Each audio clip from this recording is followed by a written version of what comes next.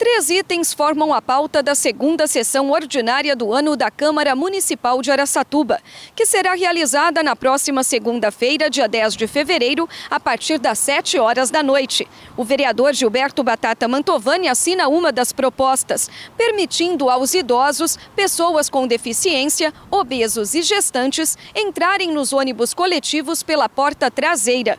Outro projeto autoriza a Prefeitura a abrir um crédito adicional especial no valor de um milhão e meio de reais para o cumprimento de convênio com a Santa Casa de Araçatuba. Completa a pauta uma moção de apoio assinada pelo vereador Doutor Alceu ao projeto de lei em tramitação no Congresso Nacional que obriga a participação dos advogados nas audiências de conciliação do SEJUSC, o Centro Judiciário de Solução de Conflitos e Cidadania.